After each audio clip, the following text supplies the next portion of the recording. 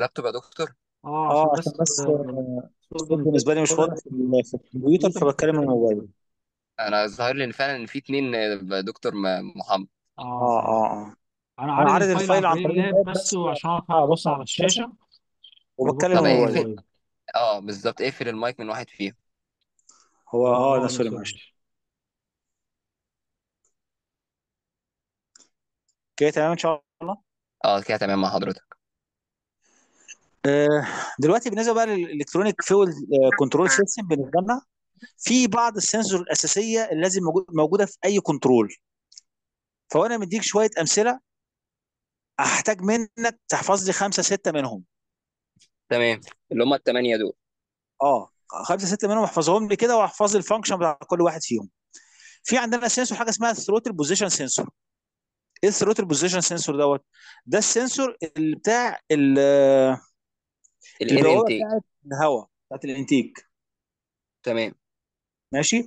دوت انت لما بتدوس على دواسة ال accelerator كده البوابة نفسها بتتحرك عن طريق position wire معين. ال wire دوت لما بيتحرك بالنسبة لنا كده بيديك فتحة البوابه قد إيه؟ ربع فتحة نص فتحة فتحة كاملة. اللي بناء عليها يفهم ال control كمية الهواء قد إيه بالنسبة له بعد كده المفروض يشتغل على اساسه تمام. ماشي؟ ده اسمه throttle position sensor TPS تمام.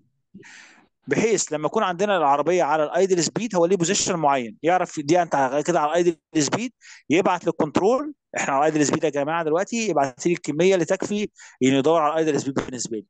أول ما ال position ده بيتغير بياخد مثلا angle بزاوية ثانية إحنا على فكرة خلاص دلوقتي إحنا في حالة ال driving دلوقتي أو العربية في وضع وضع هنزود الكمية. ما إحنا دلوقتي على الإيه؟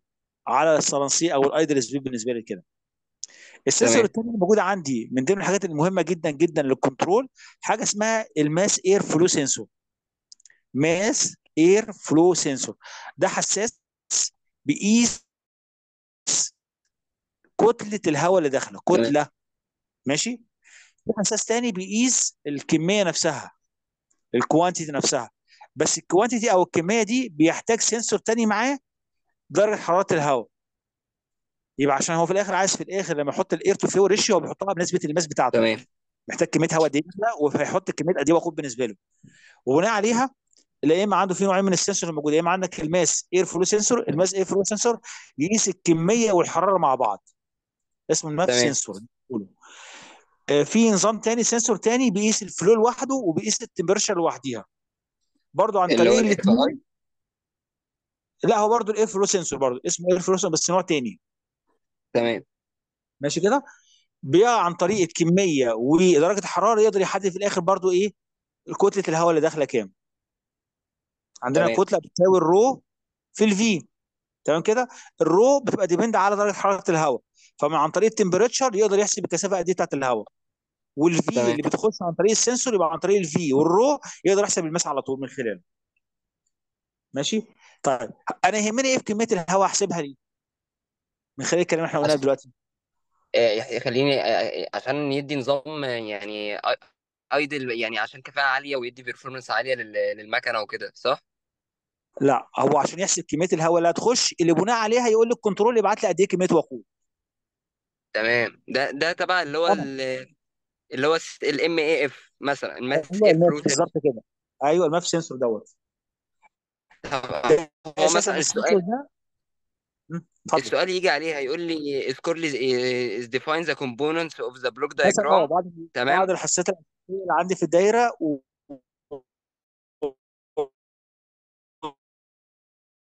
وظيفه fuel injection injector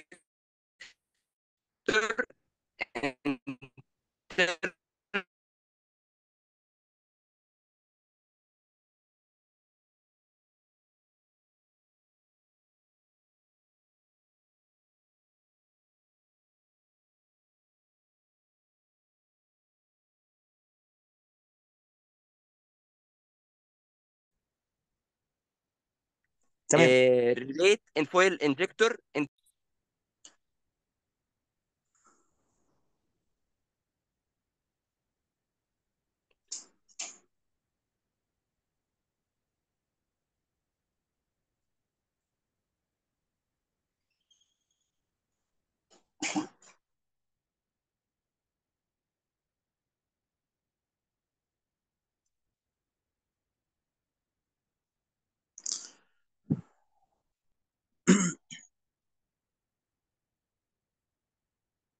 هيفتح دلوقتي وربنا يسهل إن شاء الله. مع حضرتك براحتك خالص يا دكتور. هو جالي إن هو فتح بس لسه بس آه السلايد. خلاص فتحت عين السلايد آه بالظبط كده. آه هو بيحمل بس عليها دلوقتي. انت المفروض النت في بنها حلو يا دكتور. لا إحنا هنا في القاهرة حاجة محترمة. ما أنا بقول لك النت عندكم أحسن من عندنا كده كده. يا راجل. أكيد يا دكتور. أنتوا لا في المدينة مش ما أنتوا في المدينة إحنا الأرياف إحنا هنا المنصورة. هو يا باشا مش كده إحنا عندنا برضو كم كبير قوي فالكم الكبير ده أصلا بيض- بيضغطوا على الشبكة. ف أصلا. فيلا خير. يلا في five بيقولوا في 5 G داخل. بيقولوا يعني.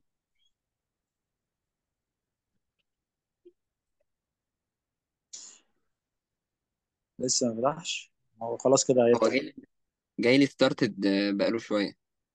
فتح خلاص عندك يعني؟ لا بيقول لي لسه عايز started screen sharing بس فتحت. طب تمام تمام. يبقى عندي هنا ال mass آه، ال mass air flow sensor أو ال mass sensor بالنسبة لنا. ده بيعمل calculation لل air quantity بالنسبة لي أو كمية الهواء. ماشي؟ ال entire داخل داخلة لل- لل engine من جوه. to ال control unit عشان تبعتها لل control عشان خاطر ال control بعد كده تعمل detect بالنسبة له ويقدر يحدد كمية ال fuel inject قد إيه. تمام. ماشي؟ في عندنا من ضمن الحاجات اللي موجودة عندي هنا ال fuel injector هو ده يعتبر مش sensor هو ده يعتبر actuator. تمام. ده ده الرشاش نفسه بتاع الفيول نفسه ده اللي بيجي له ال order عن طريق ال control يفتح عشان يعدي كمية البنزين بتاعتي في الدايرة بتاعتي. الحاجات برضو الأساسية عندي هنا بالنسبة للدايرة حاجة اسمها ال ignition system. ignition system. ال I G N أيوه بالظبط كده. دوت ده الجزء الخاص بالدايره اللي عشان تطلع لك الشرارة بتاعت ال spark plug تمام. ده اللي ماشي. بيدي ده الامر ليها السبارك بلاج لها ريفرنس لوحديها وكتب تانية لوحديها وشرح تاني بس طبعا عشان ال course مش كبير قوي للدرجة دي مش عارف نخش في التفاصيل بتاعته. لكن ده ال control ليه خاص بذاته اللي بناء عليها يطلع لك الشرارة في الوقت المناسب. ووارد أثناء التشغيل بتحتاج إن الشرارة تتقدم شوية أو تتأخر شوية نتيجة ظروف التشغيل. فدي برضه هيبقى إيه لها تفاصيل أكتر بالنسبة لنا. ال sensor تمام الأساسية الثانية بس عندنا حاجة اسمها exhaust gas oxygen sensor إيه exhaust gas oxygen sensor دوت؟ ده بنسموه في السوق حاجة اسمها ال- ال- ال O2 sensor بالنسبة لنا أو oxygen sensor بالنسبة لي. تمام. ال oxygen sensor ده بيحصل إيه؟ هو عشان خاطر هدفه الأساسي بالموضوع اللي إحنا كنا بنتكلم عليه دوت كده بيعمل control على الدايرة بتاعة الفيول دي عشان يتأكد إن الوقود كله اتحرق. فبيعمل حاطط sensor بعد في المخرج العادم بالنسبة له بعد ما خلاص اتحقق تم الحقيقي خالص في النهاية كده يقدر يقيس من خلال ال sensor ده كمية ال- الأكسجين الموجودة. معنى إن في عندك في ألو... في ال- في الفيول اللي هو خارج أو sorry ال exhaust هو خارج نسبة أكسجين معنى كده إن يبقى الفيول ده كله إيه؟ اتحرق تماما. ما فيش نسبة أكسجين معنى كده إن الوقود دوت كده ما فيهوش أي خالص يعني في كمية منه ما اتحرقتش لسه. تمام. فده يعتبر فيدباك للكنترول الكمية بتاعت الوقود دي زيادة ولا مش زيادة؟ تمام وصل. ماشي كده؟ بس ده في العربيات الحديثة يعني لو فيها شاشة بقى أو كده. آه بالظبط كده. لو فيها شاشة يقول لك لا. أنت عندك في مشكلة في الإنجن مثلا في في في الحرق. آه في حاجة اسمها عربية البيئة بنسميها كده في البيئة في, في العربيات الحديثة دلوقتي البيئة آه. عربية البيئة. ماشي العلبة علبة دي نفسها البيئة. نفسها اي علبة البيئة. العلبة دي نفسها بقى فيها تو سنسور من دول. واحد قبل العلبة وواحد بعد العلبة. تمام. اللي قبل العلبة عشان يتأكد العلبة عملت لك الخارج بتاعك أسد لك فعلا كده في حصل تغيير عندك في نسبة الأكسجين والاوتو والسوتو الاوتو قد إيه ولا الكلام ده كله عشان يعرف العلبة دي شغالة ولا مش شغالة. تمام. ماشي كده؟ الحساسات برضو اللي إحنا محتاجينها برضو مهمة جدا بالنسبة لل control عشان تعرف تحدد الكمية قد إيه ال coolant temperature sensor حساس درجة حرارة المية. هل الموتور بارد فأنت محتاج إنك تسخنه؟ لأن المحرك محتاج درجة حرارة تشغيل مثلى ما ينفعش يبقى بارد قوي ولا سخن قوي. سخن قوي بيحاول يقلل كميه بيحاول يقلل كمية الحرارة بتاعته بس هو إزاي ال- المكنة بت بت بتزود سخونية المكنة؟ يعني أنا مثلا على طريق والطريق آه. الهواء جاي في وش المكنة. فاوريدي المكنة هتفضل باردة. إزاي المكنة بتسخن نفسها؟ آه، في عندنا في ال- في الإنجن في حاجة اسمها دورة تبريد المحرك. تمام. ماشي؟ أنت ما بتحرق جوه بتطلع حرارة عالية جدا بالنسبة لك. فالمعدن نفسه مع الحرارة بيوصل لدرجات عالية جدا. فمحتاج وسيلة تبريد. وسيلة التبريد دي عبارة عن إيه؟ بيحط كل حوالين كل اسطوانات في البلوك نفسه في عندنا نوعين من التبريد. في تبريد بالمية وفي تبريد بالهواء تمام. ماشي؟ ما ده اللي أنا اللي قصدي موجود عليه. لو حاليا أنا على دلوقتي طريق وفي تبريد بالهواء فأنا محتاج أزود درجة حرارة العربية ما هو ده, المكنه ده عشان تديني الكفاءة. لا لا لا لا لا. التبريد هو ليه تصميم معين. العربيات بتاعتنا كلها حاليا دلوقتي كلها تبريد مية. ما- يعني مثلا أنا دلوقتي أنا معايا عربية يا دكتور مثلا سي تويوتا كرولا. تمام؟ تمام. فأنا مثلا على طريق سفر على طريق ماشي بسرعة عالية بسرعة 100 100 120 فأنا مؤثر صح. الحرارة عندي دايما بيبقى على ال إن هو يعتبر إن المكنة باردة. تمام. فأنا كده يعتبر إن أنا المكنة بتاعتي فعلا باردة فعليا ولا ده مؤشر بيبقى غلط؟ أيوه أنا هقول لك بقى جاي إزاي. لا لا مش غلط ولا حاجة. اللي بيحصل إيه؟ ال- المحرك لما بيشتغل بيتولد حرارة عالية فحاطط لك حوالين كل سلندر أو كل اسطوانة جوه المحرك مسارات مية. تمام. عشان تمتص الحرارة من إيه؟ من المحرك من جوه لأن الحراره دي لو ما توصلتش المحرك ممكن يقفش. نتيجة الحرارة العاليه جدا يبقى عايز يتمدد فالأجزاء الداخلية تتمدد وإيه؟ تقفش مع بعضيها. تمام. المية دي بتسخن لازم يبرد المية. ففي عامل مسارات معينة بحيث في حاطط طرمبة مية بحيث تسحب المية الباردة من برة عن طريق الرادياتير عن طريق وصلات معينة تسحب مية أيوه. برة من الرادياتير تدخله جوه المحرك عشان تدخل مية باردة نسبيا. تخش تمام. جوه السلندر تتبرد. في في نهاية في الآخر الميه دي بتخش لها اتجاه مسار معين.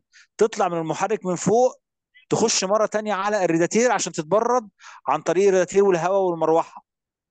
تمام. تمام؟ بعد كده الطرمبة تقوم سحبها مرة تانية من تحت تدخلها جوه الموتور تبرد الموتور من جوه وتطلع سخنة تتبرد بالهواء وتنزل تاني. تنزل وهكذا تاني في الرادياتير. وهكذا تفضل تلف.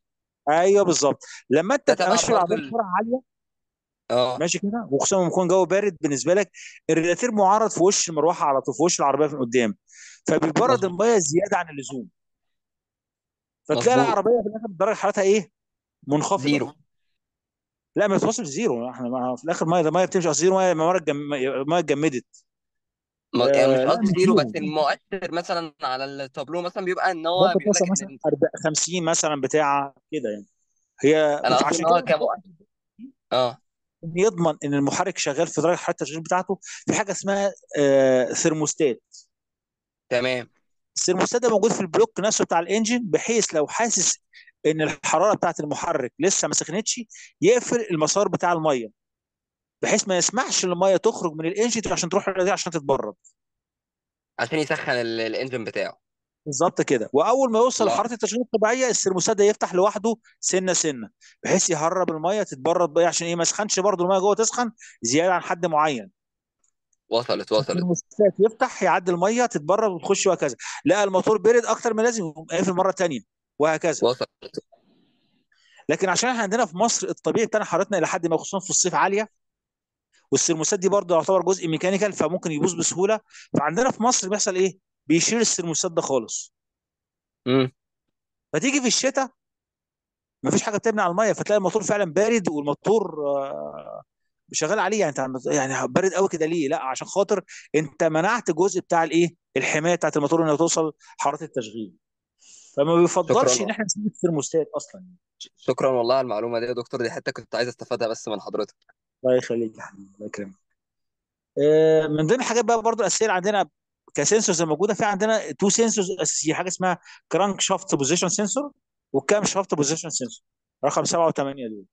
تمام. crank position sensor أو crankshaft position sensor وال camshaft ال two sensors دول مهمين جدا جدا لل control عشان تعرف هتعمل injection إمتى تعمل ignition إمتى الحاجات دي كلها. إن قلنا عشان خاطر يحصل injection بالنسبة لنا في النظام الحديث بيعمل injection وقت الصمام ما بيفتح بتاع السحب. الصمام بتاع السحب يفتح معين فهو خلاص عارف ال timing بتاعه عن طريق ال sensor بتاع ال crankshaft ده فيبدأ يدي الإشارة للس- لل... لل injector افتحي دلوقتي بخي كمية البنزين. لو ما عندوش الإشارة دي مش هيعرف يرش البنزين إمتى وبالتالي الموتور مش هيدور أصلا معاك يعني لو عندك مشكلة في ال crankshaft وال camshaft الموتور ده ما بيدورش. تمام. عربية تبقى عطلانة بتعمل cranking تلاقي الموتور عمال آه آه آه بس في الآخر إيه؟ الموتور ما بيقومش خالص معاك. وصل. يبقى عندك هنا شوية sensor مهمين قوي بالنسبة لنا. عندنا أهم حاجة ال throttle position sensor رقم واحد ال mass air flow sensor ال water temperature sensor ال crankshaft position sensor ال EGR عندنا أو sorry exhaust gas oxygen sensor ال camshaft position sensor مجموعة ال sensors دي خد منها خمسة ستة كده منهم أعرفهم وأعرف ال function بتاعتهم عشان ده سؤال بيجي برضه في الامتحان. تمام. okay كده؟ ماشي. طب ماشي. آه، في ال slide اللي بعدها ده موجود جنبها شرح كل sensor فيهم؟ ه- هنشوفها دلوقتي كده مع بعض. هو واحدة أكيد كده هيقول لي مثلا في الامتحان نذكر لي مثلا خمسة أو ستة بالشرح بتاعهم. آه هنا بيشرح لك مثلا كده الدايرة بس بيشرح لك الدايرة على بعضيها. ماشي؟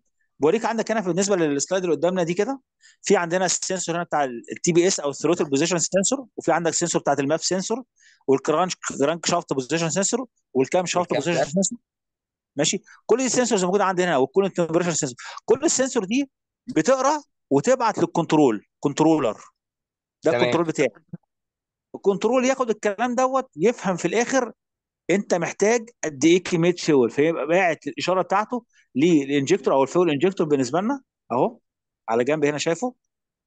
اللي أنا بشاور عليه دوت أيوه ال FI عن طريق ال signals اللي موجودة عندك عن طريق الحساسات اللي موجودة عندك هنا في ناحية الشمال دي تبعت لل control ال control نفسها تحدد كميه الفيول تبعتها للرشاش. وعن طريق ال ignition system نفسه ماشي؟ يبقى عندك هنا الإش... عندك الإش... الفيول هي... ال injector هيبقى هيبخ في ال engine من جوه في ال intake بتاعه. وعن طريق ال ignition system بالنسبة لنا يبقى عندك الفيول موجود في الوقت المناسب والشرارة موجودة في الوقت المناسب آخد أحسن performance عندي في الحريقه بالنسبة لي هنا. بعد كده الخارج بتاع ال engine هنا فيه جزء خارجي منه رايح على الحساسيه بتاعت ال EGO exhaust gas oxygen sensor آه. يقيس من خلاله كمية الأكسجين الموجودة عنده ويبعت feedback control أنا تمام أو قلل لي الفيول شوية أو زود لي الفيول شوية. تمام. فاهمني كده؟ دي دي ممكن تيجي ال cycle في الامتحان برضو بتاعت ال cycle ال control بتبقى شغالة إزاي؟ أو إن أنا أحب إن أنا أوضح عليها. آه، هي هي في الآخر هي مش بتيجي كده بالظبط بس ممكن تيجي لك رسمة زي كده مثلا واقول لك اشرح لي الدايرة بتاعتها تبقى ماشية إزاي. هتقول لي عندك مجموعة ال sensor زي كذا وكذا وكذا وكذا تبعت ال control ال data بتاعتها وبناء على ال control تبعت كمية الوقود المفروض تتحقن دي عن طريق ال fuel injector وبعد كده ال engine نفسه يستقبل كمية الفيول ديت مع ال ignition system الشوات الشرارة يتم الحريق بالنسبة لنا. الحريق دوت يروح بعد كده ليه؟ اللي هو الشرح اللي تحت الرسمة بالظبط صح كده؟ أيوه بالظبط كده. بشرح لك كل ال- ال cycle تبقى ماشية إزاي. طيب في- فين معلش يا دكتور ال slide اللي فيها شرح الثمانيه sensor آه، هنا في open loop هنا بيتكلم على الجزء بتاع ال- كده. هنا بشرح لك كل جزء هنا بس داخل جوه حاجة يعني جوه جوه جوه ال- ال- ال loops نفسها اللي موجودة عندي في الدايرة بتاعتي في حالة ال open loop أو close loop بالنسبة لي ال control بتاعي. أشوف لك كده في هنا جزء هنا. أعمل لها search research أنا من على النت عادي وأعملها أنا بفهمي ولا ليها سلايد مع ماشي okay. لو ليها slide مع حضرتك تبقى عشان بس ما إيه لو أنت حضرتك لا أنا ممكن بس بس اعمال السنة بتاعتك برضو نظبط أعمال السنة؟ هتعمل لي زي search صغير كده بس عشان بس مبقاش كبير عشان خاطر خلاص دخلنا في الامتحانات. انواع ال sensors اللي موجودة عندك هنا في ال injection system ووظيفة كل sensor إيه تمام آه، هكتبها بس ورا حضرتك. ماشي. قول لي كده تاني مطلوب مني إيه يا دكتور؟ ال sensor types الموجوده في ال injection system sensor types sensor types انواع السنسور ان انجن مانجمنت سيستم ان انجن انجن مانجمنت أيوه مانجمنت سيستم مانجمنت سيستم تمام. آه بال function بتاعتهم بالوظائف بتاعتهم. And their function. أيوه. تمام ماشي تقريبا هعمله. أكتر من 90% من الامتحان كده إن شاء الله. طيب تمام ماشي. ب- جزئية بس اللي هم الثمانية sensor أنا هعمل لها research أنا على النت من من واعملهم وأبعتهم لحضرتك. تعلق لي عليهم بس تقول لي تمام ولا مش تمام. مفيش مشكلة okay. خلاص ماشي okay. ماشي. دي كده ماشي. المحاضرة خمسة خلصت ولا لسه فيها حاجة؟ هي هي خلصت كده بس عشان المحاضرة كانت طويلة فكانت بنقسمها أكتر من محاضرة في نفس الوقت.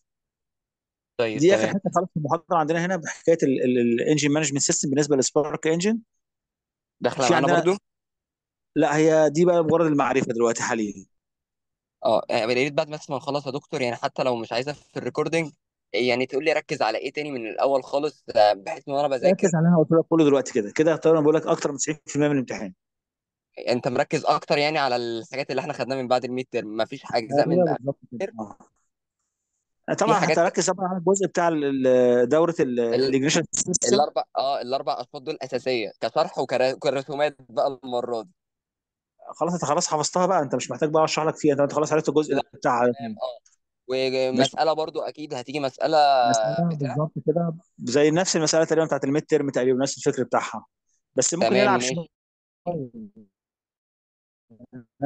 مثلا إيه عشان بس نركز و- يعني القوانين لو أنت فاهم القوانين أنا ممكن ألعب معاك شوية كده بحيث في الآخر تعرف الدنيا ماشية تلعب معايا إزاي. إزاي؟ طب ما تعرف يعني مثلا أديك إيه يعني مثلا أقول لك مثلا ما ادكش كام. تمام. ولا ال stroke كام؟ أقول لك مثلا في percentage ما بين ال bore وال stroke أديك مثلا نسبة مثلا واحد لواحد مثلا. هفرضها أنا يعني من عندي. معايا؟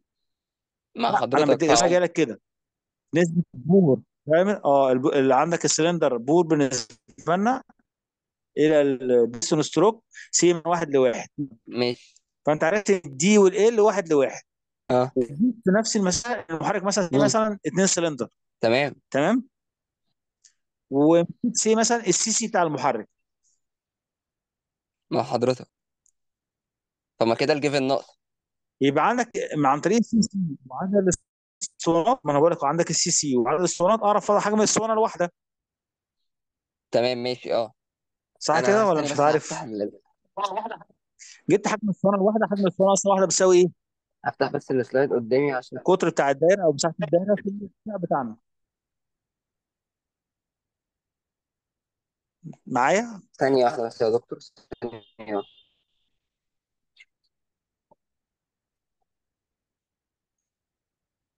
تاني كده يا دكتور معلش يعني هو بيديني طب دي ال diameter بتاعها والطول ال stroke يعني هي وعدد السلندرات وال CC بتاعها وبتبقى مطلوب مني إن أنا أطلع R أيوه. ممكن أقلبها لك بقى. تبقى انت مديني CR تطلع أنا ال CC بتاعت المحرك قد إيه؟ يعني أنت هتديني ال CR كاملة. يعني هتديني ال D وال L وال CR آه. ده ده اللي جبته لك في الامتحان بتاع ال midterm أنا بقول لك في الآخر ممكن إيه ألعب فيها شوية. بمعنى إيه؟ أقلل لك المسألة. يعني أديك السي سي أنا بتاع المحرك كام؟ ماشي كده؟ طب ما هو ما مش وأديك موجودة في النسبة المحاضرات بين ال مفيش في والدي في المحاضرات اكزامبل لا بس لا لا لو هي انت لو حطيت القوانين هتلاقي هي هي- يا حبيبي هي المحاضرة أصلا واحدة. بس انت إيه ال... الشمال بقى هو الم... النون بالنسبة لك واليمين بقى هو الايه النون دلوقتي هتقلب بس. تمام ماشي. ولو لقيت فيها حاجة وأنا دلوقتي لو أنا مديك الدي أنا لو مديك الدي ومديك ال تعرف تحسب السي سي آه. مديني الدي والال هحسب طب أنا لو السي اديتك سي السي وهتبقى سي. طب أنا لو مديني مديك السيستم السي كام سي. الصوت قطع طيب شوية مديني الدي معلش والال آه أنا حسيت إن الصوت بيقطع. دي أنت وال مديني والدي والال فاروح أحسب آه. الفي 2 أيوه. حلو ماشي بعد ما كده حسبت الفي 2 أنت هتبقى هتبقى م- ناقصني الفي 1 عشان أجيب السي ار يا عم أنا أنا ما جبت السي سي ار ولا دلوقتي خالص. أنا بكلمك ما- السي مش سي أنت هتبقى أنا عايز السي سي أنا معاك يا دكتور اسمعني أنت عايز ال CC بس هتديني ال CR given ولا مش هتديني ال CR given هديها لك given بس أنت برضه مالهاش علاقة بال CC دلوقتي خالص. هديها لك given بس مالهاش طب علاقه ليه طب دلوقتي ما أنا ليها لو معايا تاني. طب ما أنا ما تسمعني كده طيب يا دكتور. أنا لو معايا ال D وال L وال CR هروح أجيب ال V 2 من ال D وال L وهيبقى معايا ال V 2 وال CR فاروح أجيب ال V 1 فأنا كده جبت السي الفي سي طيب مش okay. أنا بقى مش مديك كده أنا مديك العكس بقى.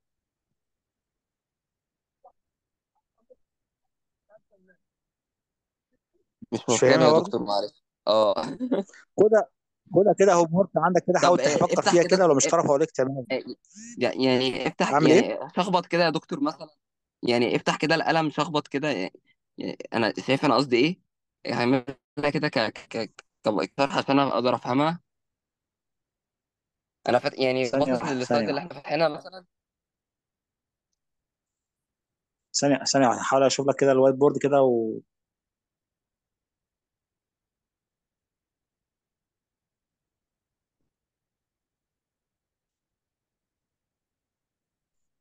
يا عم اقفل يا عم.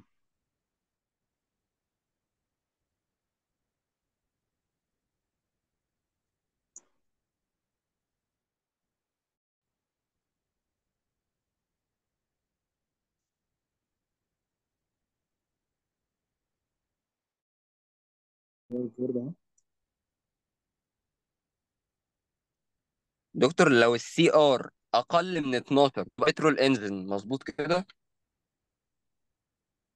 آه بالظبط كده. طب لو ما أنا عملتها اعلى كده في من المفروض من الامتحان ولا 16 أنا يبقى إحنا قلنا هنثبتها 12 عملتها كده 12 حلو قلبتها. آه. يعني مش آه، ما عملتهاش إن السي ار حبيبي أنت أقل من كتبتها صح 12 ورحت مشخبط عليها وكتبتها غلط. بجد والله. آه والله. كتبتها صح ورحت مشخبط عليها انت وكتبها لي غلط. قلت لك خلاص هي غلط غلط. قلة يعني التركيز كنت واللي كاتبها عارف انت بترول لما تبقى انجن ما لما بتبقى مضامة كاتب يعني انت الإجابة كاتب صح الكومنت لو هي أقل من 12 انت كنت كاتب كده لو أقل من 12 تبقى بترول تمام؟ فكتبتها بترول ورحت مشخبط على بترول كاتبها لي ديزل قلت له طب انت مش فاهم صراحة. طب خلاص لا بقى مش ما أنا مشكلة. لا مش كده. أنا اتلخبطت. عارف انت لما تبقى ف- مذاكرها وت- واتلخبطت هي كانت أقل ولا أكبر؟ ف خلاص سبتت معايا إنها تبقى إيه الديزل بصراحة. يلا الحمد لله حصل بس خير. خلاص هن... هنثبتهم الاثنين 12 مظبوط كده؟ أيوه ما هو عندك أصلا لو أقل من 12 أو 12 فيما أقل ده بنزين. لو أكبر معايا من كده؟ ال 12 تبقى ديزل. تمام. مع حضرتك. هو عشان يبقى ديزل المفروض أصلا ما بيبقاش يعني لو هتخش في الديزل يبقى عندك الحد الادنى مش عارف 16 أو 17 يعني أنت الفلوس تمام أصلا ما بتلاقيش فيها أصلا compression ratio يعني هتلاقي من 12 يعني من 17 تمام مثلا لو بتفكر فيها في البيت. لو عندك مثلا واحد سلندر ال C بتاعته 250 سي سي؟ يعني الان واحد سلندر. آه واحد one cylinder واحد سلندر ماشي. آه. وال CC؟ ال CC بتاعته 200 CC؟ CC 200 ال engine. CC. اللي هي دي كده سي الفي سي. اللي هي اللي هي V واحد صح كده؟ ال V ال V الكبيره آه. V واحد ولا V اتنين. آه V واحد آه. ال CC V واحد ب 200 ماشي؟ أيوه.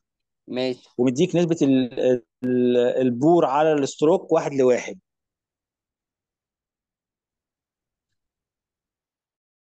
نسبة ال bore bore واحد واحد. على فكرة يا دكتور أنا عايزك تحسب لي ال bore قد إيه وال stroke قد إيه. على فكرة حتة ال bore وال stroke دي يا دكتور إحنا يعني هتلاقيني مش مجمعها معاك عشان إحنا ما ركزناش عليها في الميد ترم بس. طب عارف يعني إيه بيبقى كلمة ال bore؟ قطر ما الاسطوانه عشان bore دي يعني قطر الأسطوانة. تمام قطر الأسطوانة.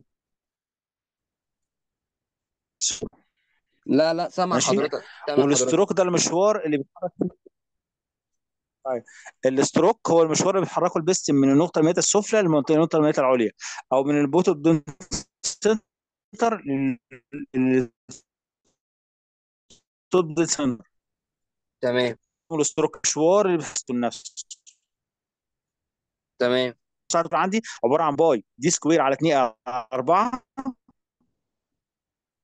pi. D square على 4 مضروبه في ال stroke عبارة عن ال volume ده اللي هو ال V 2 ال CC عندك في الحاله بتاعتك دي. تمام. أيوه بالظبط كده. V 2 ولا V 1 أنت بس... هو أنت عندك V واحد ده ال clearance ولا V واحد؟ أصلا مش فاكر القانون. الفي واحد اللي هو الفوليوم ال الفو- الفول الفوليوم اوف كومباشن شابتر الاثنين ال volume of cylinder يبقى 2 يبقى V 2 بقى ال V V 2 اللي هو ماشي؟ اللي 200 هو CC أصلا.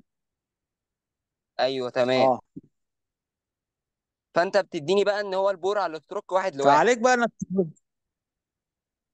فأنت أيوه. طالب مني إن أنا أطلع لك إيه بقى؟ أطلع لك ال bore ولا أطلع لك ال bore قيمة ال bore قد إيه وال stroke قد إيه؟ امم طيب هفكر ال bore مع قد إيه نفسي وال stroke قد إيه؟ هفكر فيها كده ماشي. مع نفسي في البيت. يعني هطالب حضرتك طالب ال D طب وال L تمام مظبوط تمام. كده؟ أيوه بالظبط كده بالظبط كده. طيب مش هتديني أي given تانية؟ يعني مش هتديني مثلا آه، قيمة لا ال V مش محتاج ال... given تاني كده خلاص كده. مش هحتاج قيمة ال C مثلا؟ مش هتديني قيمة ال CR النهائية مش مثلا هتحتاج حاجة تانية. هو كده دول هيطلع لك